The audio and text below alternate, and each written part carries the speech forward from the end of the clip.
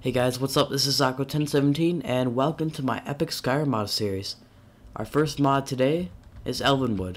But first, before we go into Elvenwood, I just wanted to say that this is the series about just a bunch of epic Skyrim mods that I think are some of the best Skyrim mods ever. So, in this one, we have Elvenwood, which is usually a really cool city, uh, like a little tiny village. It's between uh, uh, Falkreath and uh, Helgen and uh, it's just a little wood elf outpost, but it's a really nice design.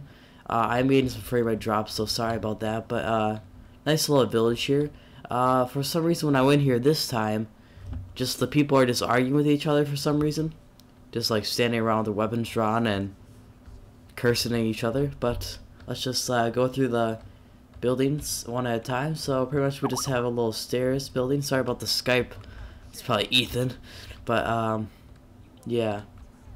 As we talk over the curses, um, we have just little entry buildings like this, uh, little living quarters like this. Uh, there's a tavern somewhere around here. I think this is the tavern, yeah.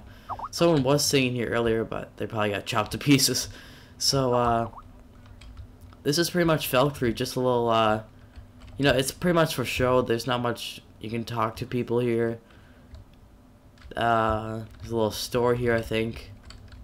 But yeah, that's pretty much uh, Elvenwood. So thank you guys for watching. I hope you guys enjoyed the video.